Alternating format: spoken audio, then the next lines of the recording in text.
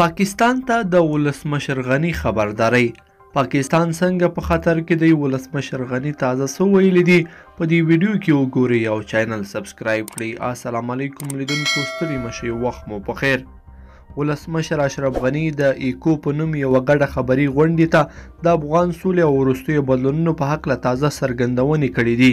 او ویلي دي چی که د افغان سولې پروسه ناکامیږي نو ډیر زیان به یې پاکستان ته رسیږي د ایکو سرمنشیزه ځکې سرمشري ځکې غني هم بیا وویل چې د افغان سولې په برخه کې د پاکستان رول خورا مهم دی تر دې وړاندې هم افغان سولې لپاره د پاکستان پر مهم رول خبرې شوې وي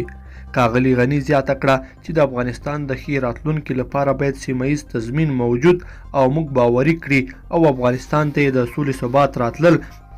چې چانس وباله. ښاغلي غني یو ځل بیا د واک لیک د یوې قانوني مرحلې څخه یاد کړ. د ایکو سازمان د افغانستان، ایران، پاکستان، تاجکستان او ترکیې په ګډون لس غړي لري چې دا یې څوارلسمه سرمشریزه ترسره شوه.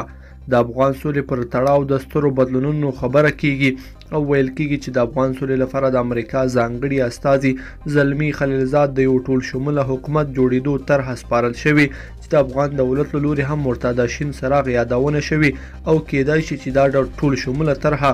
افغانستان ته سوله په برخه کړي د ایکو سازمان سرمشریزه کې د پاکستان لومړي وزیر عمران خان هم خبرې وکړې هغه هم افغان سوله د سیمه ییزې په کچه لومړیتوب او وړتیا وبلله